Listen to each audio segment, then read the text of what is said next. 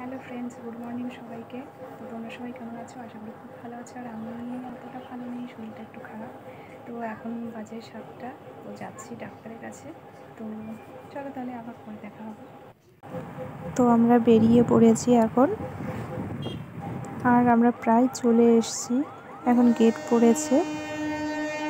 ট্রেনও চলে এসছে। তো অল্প একটু বাদেই আমরা পৌঁছে যাব। তো আমার ডাক্তার দেখানো হয়ে গিয়েছে। অসুবিধার জন্য আমি ভিডিওটা করতে পারিনি। তো এখন আমরা বাড়িতে আসছি। এখন তেল পাম্পে ঢুকছি।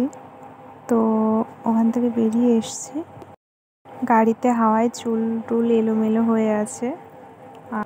বাড়িতে চলে এসছি। তো বাড়িতে এসে দেখলাম ভাত রান্না হয়নি। তো আমি চলে এসেছি আমার বাপের বাড়িতে।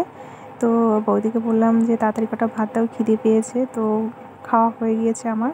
আর এখানে কালো মুরগির বাচ্চা, আমার তিনটে করকনাথের চেগে বাচ্চা। তো তোমাদের দেখিয়ে দিলাম। আর এই দেখো, এখানে রঙন ফুল ফুটেছে সাদা। যখন হয়েছিল খুব সুন্দর লেগেছিল দেখতে। এখন ফুলটা শুকিয়ে যাচ্ছে। আর আমি বাড়িতে চলে এসেছি। এখন বাড়িতে এসে স্নান করে এখন ঘুমোবো। আমার গোলো ঘুমিয়ে পড়েছে।